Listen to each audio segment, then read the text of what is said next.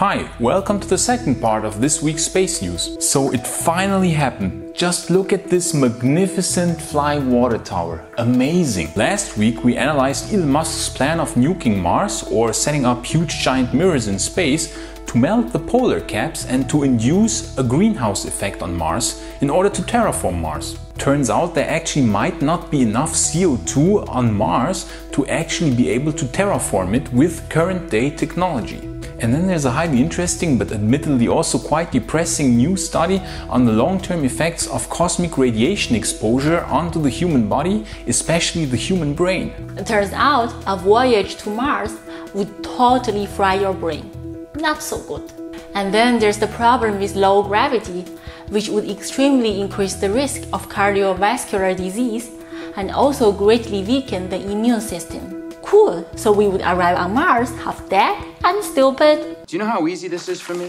Do you have any idea how easy this is? This is a joke.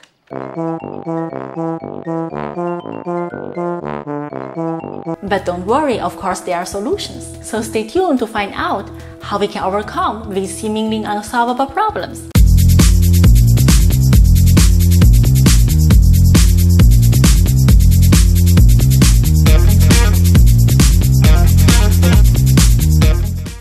So before we talk about terraforming Mars, we just want to congratulate SpaceX for this amazing historical moment. This moment, you ladies and gentlemen, was one for the history books, paving the way for Starship, the vehicle that will enable us to colonize Mars and the solar system. We'll talk about it in detail on the next Space News episode. And now that we have the working engine that will take us to Mars, it's time to start solving the other problems how to actually colonize and terraform the red planet. So on Monday we found out that Mars might not even have enough CO2 in the polar caps and in the soil to reach the critical level of 10% atmospheric pressure, which would be needed to induce a runaway greenhouse effect needed to terraform Mars. The exact amount of CO2 on Mars is still not perfectly known, but it might really be the case that we cannot terraform Mars with the current day technology that we have, be it nukes, giant mirrors, or whatever we come up with with our current day technology. And then there's another big problem on Mars. Mars doesn't have a protective magnetic field like the Earth. So the magnetic field of Earth basically protects us from the high energetic solar wind and from cosmic radiation. Now, it is speculated that Mars once had a magnetic field billions of years ago, but Mars being quite a bit smaller than Earth, a bit more than half its size, the liquid magma streams around the inner core cooled off much faster than here on Earth. So at some point, a few billion years ago, they ceased to exist and then the magnetic field also vanished. There are, however, small pockets of residual magnetism on the surface of Mars, which is a strong indication that Mars once had a magnetic field but these are not strong enough to completely shield us from the solar wind and cosmic radiation. So it seems, unfortunately, Mars versus humanity 1 to 0. And a new study published only recently in the scientific journal eNeuro suggests that the cosmic radiation could severely damage our brains on a voyage to Mars. There are two sources of radiation. The first being solar storms emitted by the sun. These are high energy protons where thanks to early warning systems, we could find shelter in time in a specially designed solar storm shelter. However, the more brutal form of radiation is the cosmic radiation. It consists also mainly of protons, but also helium cores to a lesser extent. They can reach insane energies of over 10 to the 18 electron volts. The highest ones even 5 times 10 to the 19 electron volts or 8 joules. Yes, 8 joules. That would be the freaking energy released by a bar of chocolate falling from a height of 8 meters.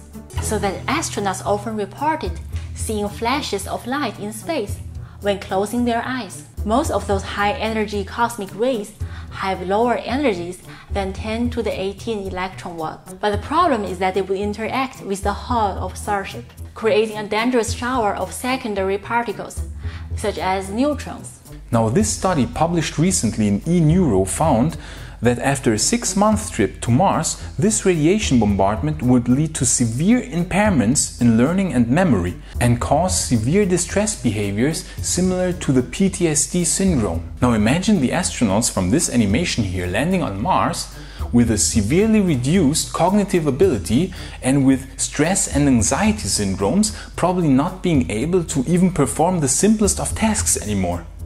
That would not be very good. So it seems Mars versus humanity 2 to 0.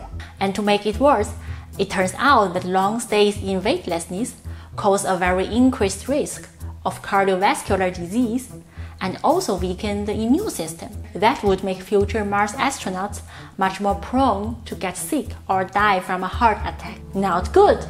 Mars versus humanity 3 to 0. So, is it game over now? Has Mars won?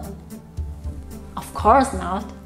Any problem is solvable as long as no law of physics prevents it. So let's start solving, shall we? First, solving the cosmic radiation problem.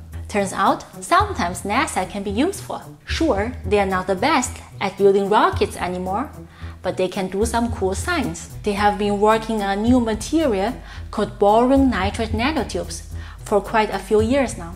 MIRSO, a variant of these BNNTs, hydrogenated BNNTs, would have a very large neutron capture cross section, therefore capturing most of the high energy secondary neutrons created by cosmic particles interacting with the starship's hull. We therefore need to clad the entire hull of the crew sections of Starship with hydrogenated BNNTs. Fortunately, this material is very light because it's based on nanotubes, so this wouldn't add too much weight to Starship. Humanity versus Mars 1 to 2. Second, solving the low gravity problem. So now long stays in weightlessness are extremely bad for the human body, we found out.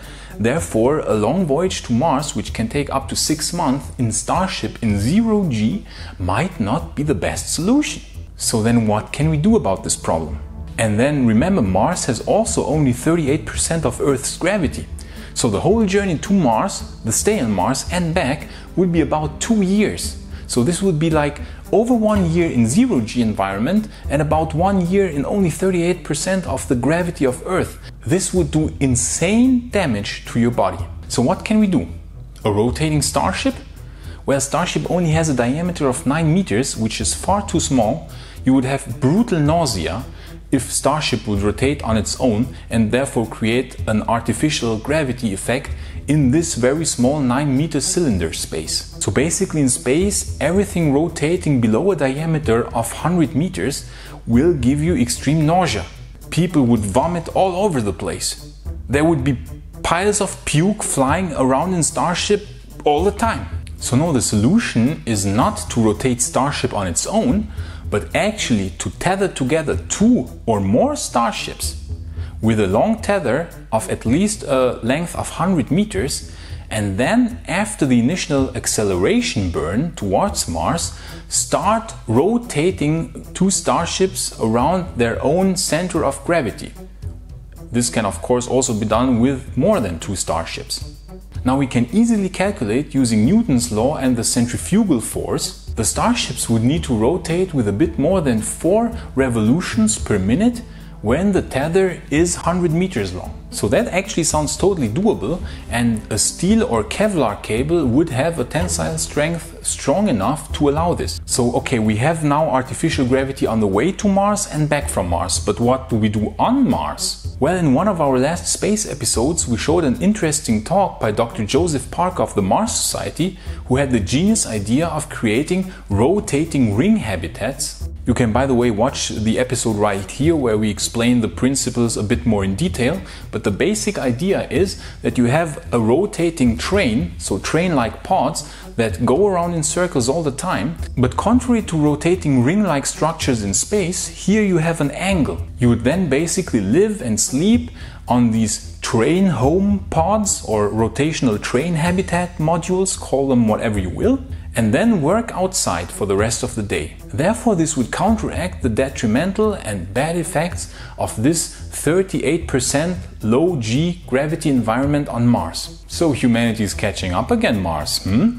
Humanity versus Mars now 2 to 1. 3. solving the terraforming problem. So, terraforming the entire Mars might be difficult.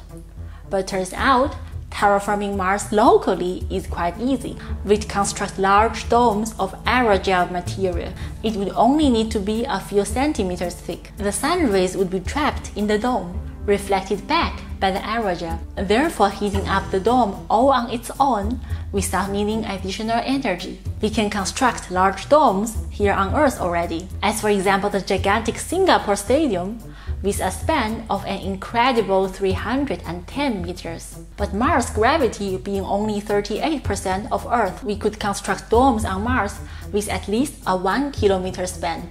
Oh yeah, aerogel material is also transparent so we could actually enjoy the sun in those domes. Humanity versus Mars, 3 to 0.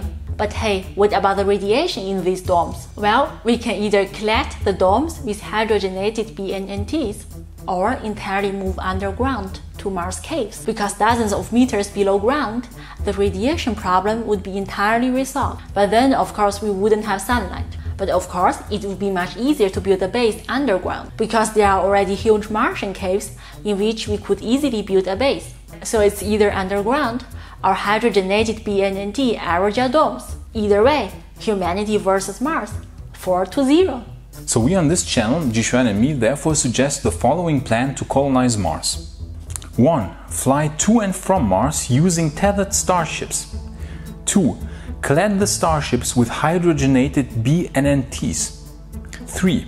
Arrive on Mars, build first habitats below the ground in Mars caves in order to shield from radiation from the very beginning. 4.